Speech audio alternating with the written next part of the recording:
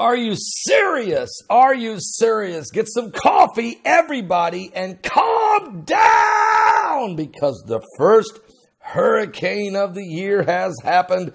Hurricane Dora. But it's not just hurricane. I'm not even really concerned much about Hurricane Dora.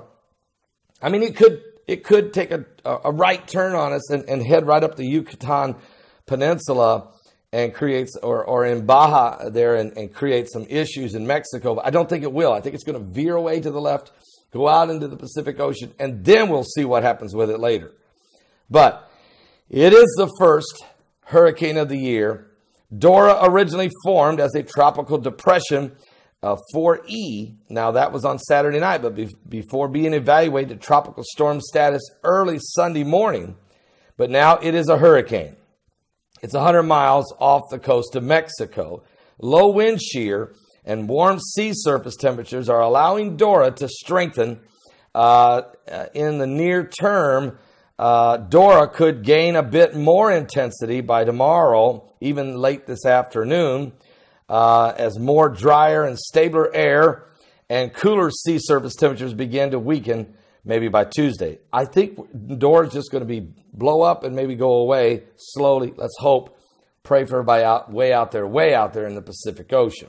But the storm I'm concerned about is the one that BP Earthwatch is also identifying, and that's the one that's down in the Gulf of Mexico. And if you look at my thumbnail, I actually got a picture of it forming down there, just off the coast of, uh, just right down there near the Yucatan Peninsula there.